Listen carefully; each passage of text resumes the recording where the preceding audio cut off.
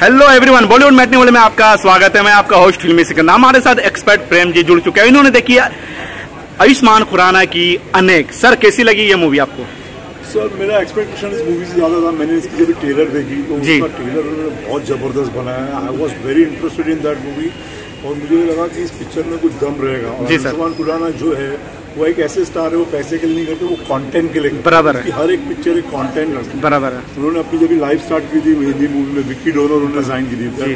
Good movie फिर उन्होंने dream girl की थी बाला की थी बरेली की बर्फ़ी की थी। बहुत अच्छी अच्छी पिक्चर उन्होंने की है उनका अ, सावधान कुछ था एक सावधान सुमंगल यादव सावधान। हाँ, सुमंगल सावधान।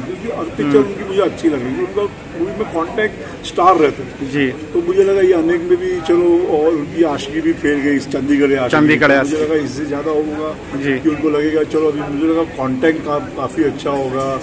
टाइगर सांगा के बारे में बताया गया उनके ऊपर नॉर्थ ईस्ट इंडिया के बारे में बताया गया। जी। लेकिन सर मूवी को अनुपम सिन्हा जी बना नहीं सकते? उन्होंने कंटेंट लिया लेकिन उनको नहीं होल्ड कर पाए। बराबर है। पिक्चर ये बहुत बड़ी डिजास्टर होगी। हीरोपंती से भी जड़ी फ्लॉप अरे क्या?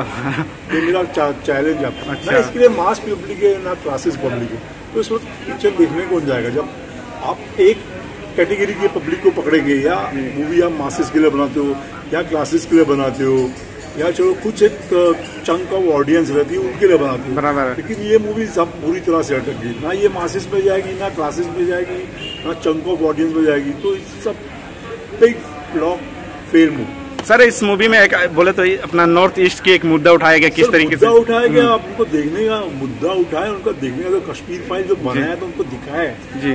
मुद्दा मतलब कॉन्टेक्ट आप देते हो तो उसको आप उसका जस्टिफाई करो उसके साथ पूरा करो। इन्होंने कुछ नहीं किया इन्होंने मूवी को एक खुद डायरेक्टर को नहीं पता कि मैं क्या बना रहा हूँ। बराबर। है उन्होंने मूवी की पूरी वाट लगा दी पूरी मतलब मूवी एकदम ही I was very disappointed disappoint और मैं बोल रहा हूँ हीरोपंती से भी ज़्यादा ये फ्लॉप हो जाएगी ये मेरा चैलेंज है।